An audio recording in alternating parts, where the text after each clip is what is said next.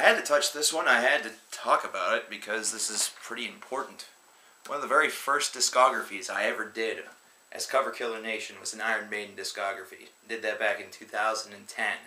Did it within a week. That's still, I think, the quickest discography I've done north of the Mastodon discography, which I think I took care of in like three days. Well, it's relevant because Bruce Dickinson, over the Christmas holiday, was was diagnosed with tongue cancer. Tongue cancer. Definitely not one of the cancers that you hear about all of that often. Not one that seems to be on the, you know, the highest priority of the radar. It's not one that you see very much press abouts. You don't see, you know, a special color for tongue cancer, so to speak. You know, imagine such a color would have to be red or tongue colored. But he has tongue cancer. Uh, well, he had tongue cancer. It was tongue cancer that was uh, discovered uh, over the Christmas holiday, and he's actually been going through treatments that just ended yesterday, February the 18th. And uh, right now, everything seems to look pretty good. The recovery time is going to be putting him at a couple of months, and he's going to be taking some time to kind of rest, recuperate, and relax after all this. This was caught early. That's the big thing. This was caught early. It was not something that was uh, you know, caught way too late where it had the opportunity to uh, uh, metastasize and become something even larger, something very dangerous, uh, something that could be life-threatening, though we should definitely not rule out anything as of yet, considering cancer is, uh, well, it's cancer. It is what it is. And this is something that plagues a number of people. I've had personal family members uh, die from this disease, and I'm sure that you've had family members and friends that have also been affected by it, so it's certainly no laughing matter. It's certainly not something that uh, should be taken as one and done. It's something that hopefully this is it. However, I think what a lot of people now are concerning themselves with, what a lot of people are kind of fearful of, is what uh, all of the treatment and everything that is uh, really been set to help remove the cancer from, from Bruce Dickinson's tongue how that's going to affect his singing voice, how that's going to affect his performances, what it may do uh, for that legendary, legendary air raid siren range that has really propelled him to that of legend. And I want to enter in this conversation just by saying something extremely brief, extremely simple, and something that really everybody should feel or everybody should have felt going in but I think we live in kind of a pessimistic society. It's Bruce Dickinson. Bruce's voice and Bruce's range are that of legend because of its long lasting quality. The fact that he's been able to do all that he's been able to do for as long as he's been able to do it. I highly doubt this is going to be something that he's going to let stand in his way from doing it again.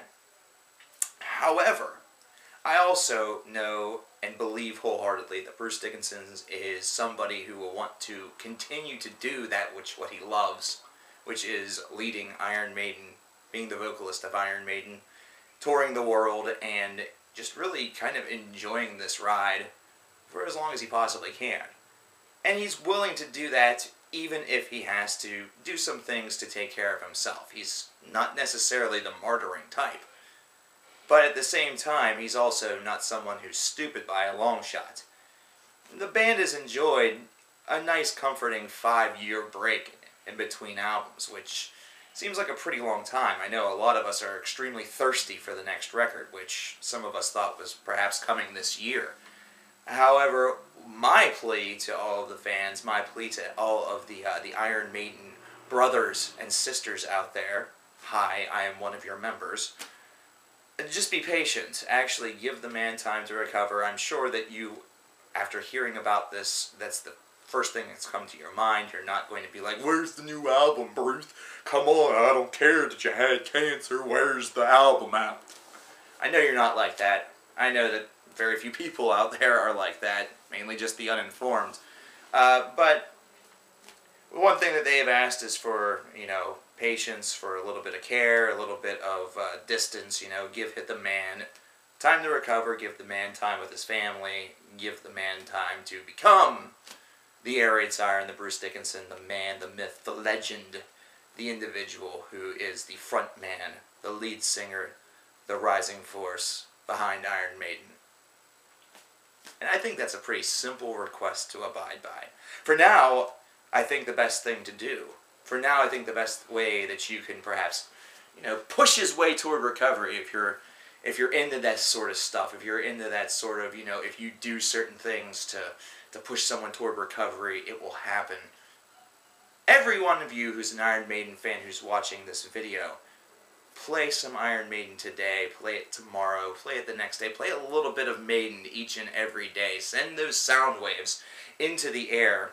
That way, Bruce, while he's resting, while he's relaxing, while he's getting his strength back, maybe if you believe just hard enough and the shit isn't fake and, you know, legendary and all that crap, maybe all of the sound waves will come to Bruce Dickinson and he will heal.